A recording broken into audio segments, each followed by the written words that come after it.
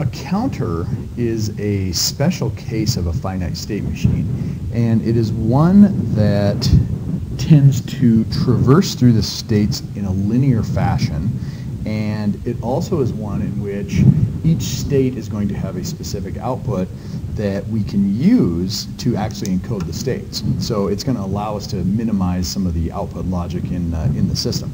So the best way to learn a counter is to just do an example. So let's do an example of a 2-bit binary up counter. Okay? And let's go ahead and talk about the word description. So the word description here, word description, and we won't write it out too much, but basically what we're going to do is we're going to make a system that outputs uh, a counter that's two bits, and it's a binary counter, and it counts up 0, 0, 0, 1, 1, 0, 1, 1, and then it'll just roll over and continue, and it'll just count indefinitely. So it's, it's binary up. Now this is the description of this is that it doesn't, you don't have any controls over it. It's not like you can count up and then count down. So it doesn't have any inputs. So the block diagram of this will look like it's going to have a clock, and every time you get a rising edge of a clock, you will increase the count by one. And let's call the count CNT, and we'll just make it a two-bit vector. So we'll have two, two scalars that come out, and we'll call them CNT1 and CNT0, and those will be our outputs. So this is a, an interesting situation because it's a state machine that doesn't have any inputs. Okay, so let's go ahead and do the state diagram. And the simplest way to do a counter is to have each state represent one of the count outputs. And then what we'll do is we'll just create a system, an output logic that takes the current state and encodes it in a, in a manner that is the output. So let's take a look at that. So let's do, let's have four states in the system. So we'll call it C0 for count 0. And then what we'll do is we'll have C1, and then we'll have C2, and we'll have C3. And what we'll do is we'll just simply, every rising edge of a clock, we'll just move over and traverse through the states. So this right here is where you see this characteristic behavior of a counter. So notice it, it moves linearly through a counter. Okay, and, and this is only a 2-bit counter that only has four values, but imagine you had like a 32-bit counter that's counting up to billions. And in most of the time, it is traversing linearly through. Okay, now that's not to say that you couldn't build a system that is going and then you can set it to a particular value but uh, most of the time it's traversing linearly. So that's kind of the definition of a counter. The other big thing about a counter is that the outputs, we can encode the states such that the current state code is the value of the output that you want. So here's an example. So when I'm in C0, I want an output of, I want to have CNT be 0, 0. So I can actually come into here and I can say when I'm in the state, I'm going to say CNT is equal to 0, 0. Now there's a few things to notice here.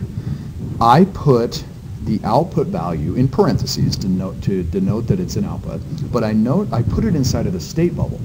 That is how you indicate that this is a Moore type machine, meaning that the outputs only depend on the current state. So if I have outputs that depend on the current state and the inputs, then what I'm going to do is I'm going to put them out next to the transition edge because that's where the inputs are going to be listed.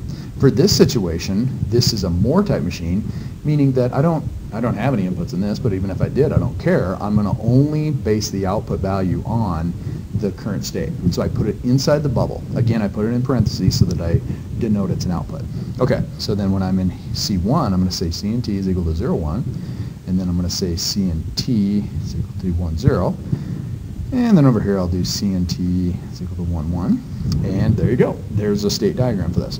If we come along and now do the state transition table, I'm going to put all of this information in here in a tabular format. But this time I know that I'm going to immediately synthesize right after, so I'm going to leave some room in the table so that I can so I can come back in and put my state codes. And so let's go ahead and make the table, and we'll make it big enough so that uh, so that we have room to come back. Okay, so we're going to list the current state, put current state, and we'll go ahead and put a line like this. and then we're going to put a line like this, and I'm going to write the actual variable name. Okay, so the first thing we're going to do here is I'll have the descriptive name of the state, so C0, and then I'll have C1, and then C2, and then C3. And then what I'm going to do is I'm going to come over here, and I'm in room right here in this region right here, because I'm going to come back and put the state codes in. So then I'm going to put next state here, what I'll do is I'll list the descriptive state name of where I'm going. So when I'm in C0, I'm going to C1. When I'm in C1, I'm going to C2. C2, I'm going to C3. When I'm in C3, I'm going back to C0. Okay? And then I'll give myself some room because I'm going to come back and put these state codes in there for the next state, or the state variables for next state. And then I'm going to put my outputs over here. Okay? And then the outputs, what I'm going to do is I'll list it as C and T as a two-bit vector, and then I'll just say when I'm in C0, the output's going to be 0, 0. When I'm in C1, it's 0, 1. When I'm in C2, it's 1, 0. When I'm in C3, it's 1, 1. Okay? And let's see. Let's go ahead and draw some lines in here just to make it a little bit more readable.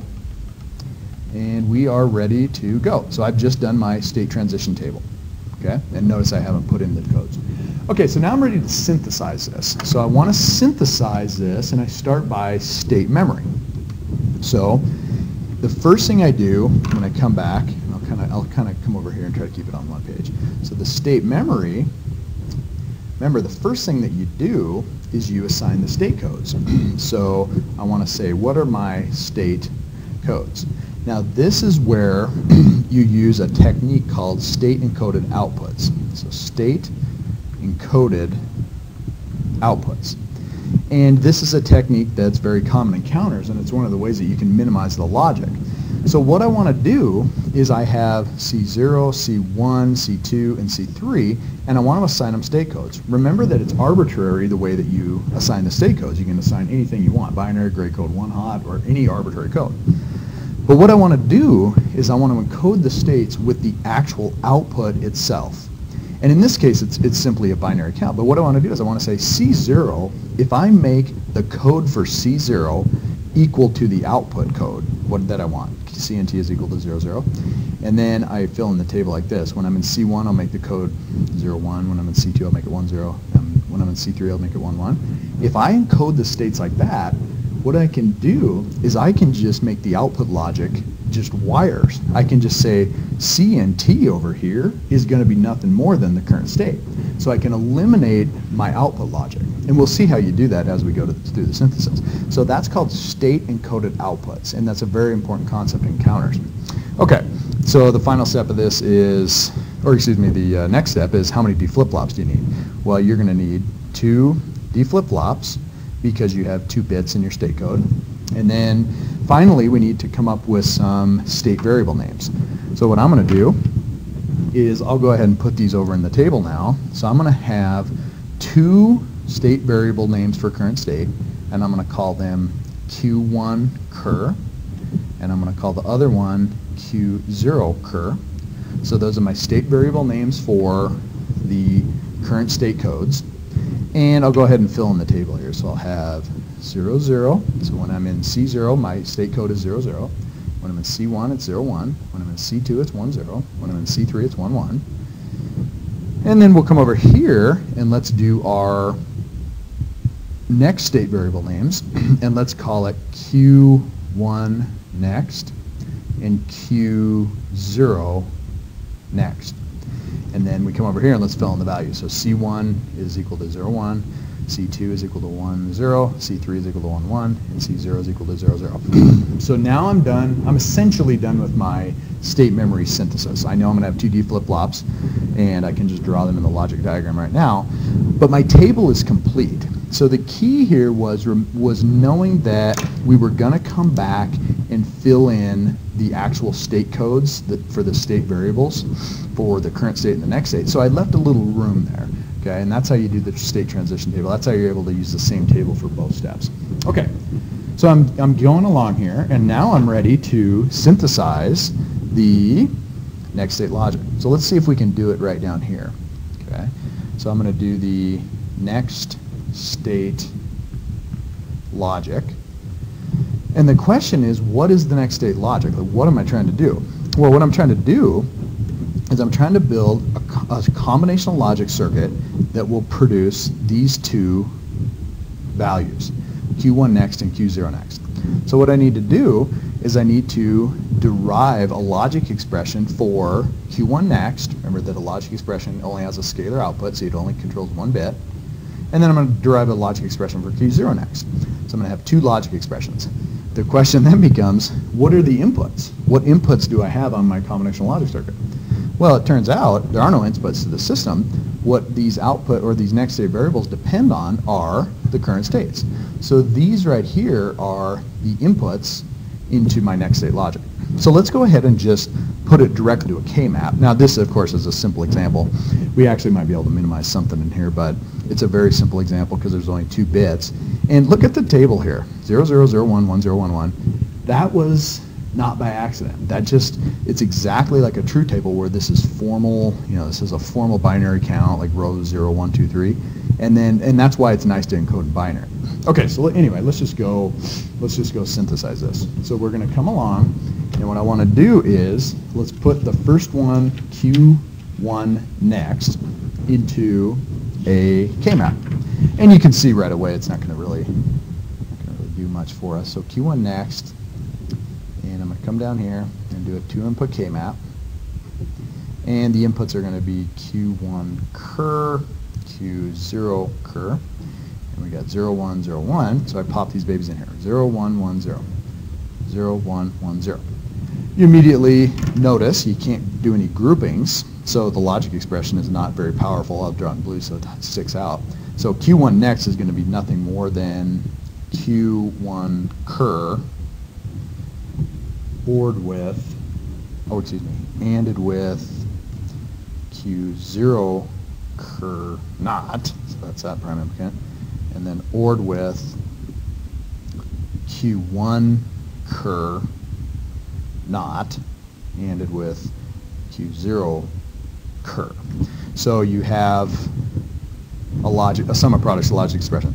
You also probably notice that that's an exclusive OR gate, so 0, 1, 1, 0. So you could just do Q1 cur exclusive ORed with Q0 cur.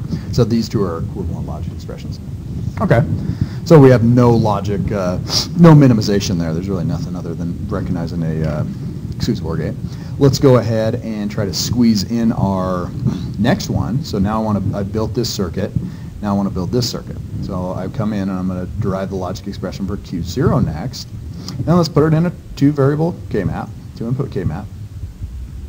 The inputs that I care about are, or that it depends on are Q1 cur and Q0 cur. And we'll put them in the value 0, 1, 0, 1.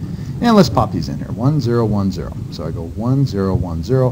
This one I can minimize a little bit, so I can group these together and come up with one prime implicant. So I'm going to have, I'm going to be able to exclude Q1 cur, because the circle covers a region where Q1 cur is both a 0 and a 1. And the actual prime implicant is just Q0 cur not. Okay, so I've done it. I've synthesized my next state logic. Okay, so I look at this thing, and I've got my logic expressions there. The last step is my next, or my output logic. So now I'm going to synthesize my output logic. And I say, well, wait a minute, wait a minute.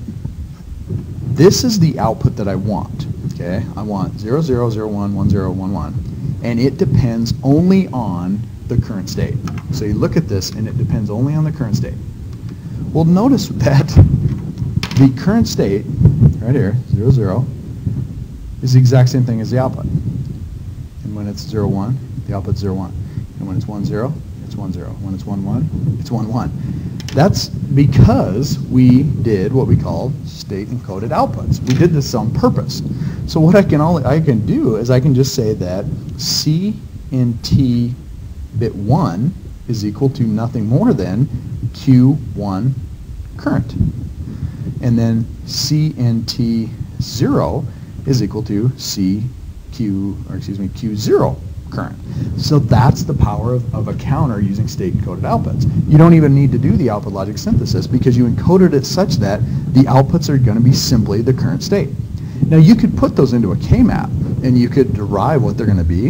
And if you did it, you'd just you'd come out with these exact logic expressions. But we were able to synthesize that very rapidly. Okay, so now we're all done with this example. So let's draw the final logic diagram. So I'm going to come along and I'm going to draw this final logic diagram. So let's see. To do this. Let's put it on here. Okay, so my state memory is right here, and I have it drawn, and I'll just, we'll zoom in and kind of look at it. Okay, so come along, and my state memory is what? It's 2D flip-flops. But it's not just 2D flip-flops. The 2D flip-flops have state variable names on them. So I use this, this top one to represent the Q1 current and Q1 next. Then I had Q0 cur is, is Q0 cur and Q1 next. So I had to assign where the state variables were connected. My next state logic is going to be simply for Q1 next, I have the sum of products expression, or I could use that exclusive OR gate. And then for Q0 next, it's simply Q0 cur. Now notice what's nice about, or Q1, Q0 cur not. What's nice about this one is Q0 cur not comes from the QN output of this guy. So you don't actually have to have an inverter in there. You got that for free. Okay, so then what does the output look like? The output logic, like we said, it's state encoded outputs. It's just directly the current state. So these outputs are just nothing more than wires connected to the Q outputs of your D flip-flops. So this right here, notice all the output logic is nothing more than wires. And that is how you minimize the complexity of these circuits. So here's what the behavior of this counter looks like. It's as you would expect you're just going to basically come along, and every time you get a rising edge of a clock, it's going to count 0001, 1011, 0001, 1011, 00. So that is a two-bit binary up counter.